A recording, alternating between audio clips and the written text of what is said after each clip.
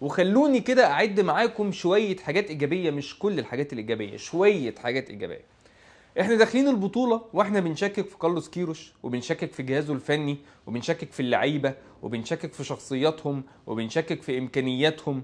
دلوقتي بعد البطولة هل التشكيك ده مستمر؟ بالعكس الناس كلها بتشيد بكروش وبتشيد بجهازه الفني وبتشيد باللعيبة بتشيد بالروح بتشيد بالشخصية بتشيد بالإمكانيات.